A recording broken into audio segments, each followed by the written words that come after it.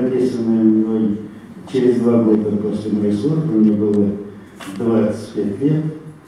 Значит, просто важно для объяснения каких-то э, строчек. Голову уткнув моей жене авиационного солдата, девушка из города Кемель, золотца меня, звала меня когда-то. Ветер хороводился в трубе, а она шептала и шептала, я и впрямь казался сам себе слитком благородного металла. Вот молодость не вечное добро, время стрелки движет неустанно. Я уже, наверное, серебро, скоро стану вовсе оловянным, но увидев где-то в плетне девушку, обнявшую солдата, я припомню то, что и меня называли золотцем когда-то.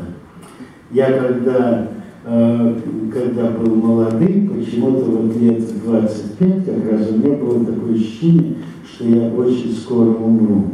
Вот. И почему-то мне было обидно, и это заранее авансом я обижался на судьбу и думал, что вот э, что она очень несправедлива, написал такое стихотворение. Все то, что было молодым, стареет, может статься, умру почтенным и седым, и поглупевшим старцем. Меня на кладбище снесут, и все равно не слышу, э, немало слов произнесут, и на небес превознесут, и в классике запишут. И и назовут за томом то, что написал для вас я. Что слава дым, но дело в том, что к нам она всегда потом. Но почему всегда потом и никогда авансом? Когда умру я в нужный срок, жалеть меня не смейте. Я, может, сделал все, что мог, за много лет до смерти